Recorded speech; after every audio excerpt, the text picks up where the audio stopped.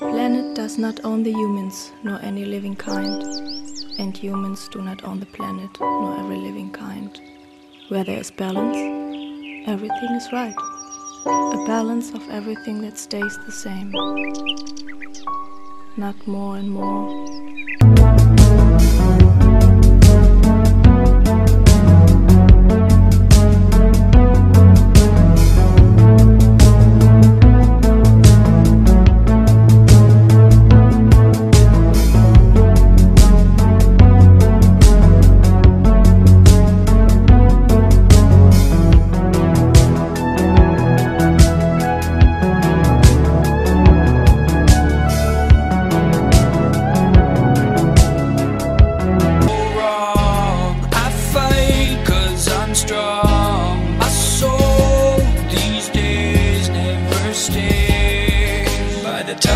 Of the sky where my promises lie.